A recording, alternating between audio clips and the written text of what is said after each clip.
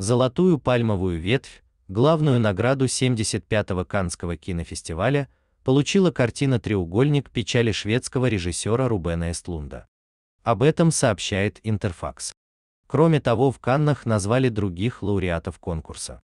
Так, вторая по значимости награда Гран при фестивале досталась фильму близко Лукаса Донта. Обладателем награды за лучшую режиссуру стал южнокорейский режиссер Пан Чхан Ука за картину «Решение уйти». Специальный приз к 75-летию фестиваля вручен фильму «Тори и Лакита. Братьев Дарден».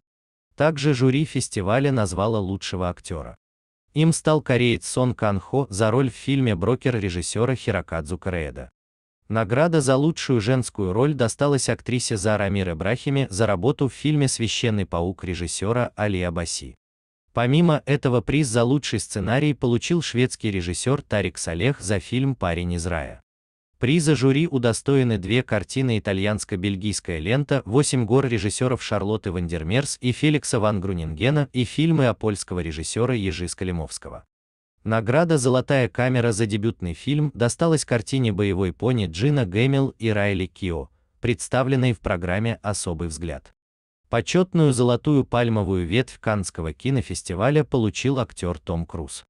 Как уточняется, в основном конкурсе фестиваля в этом году было представлено 18 картин, в их числе была представлена новая работа режиссера Кирилла Серебренникова «Жена Чайковского».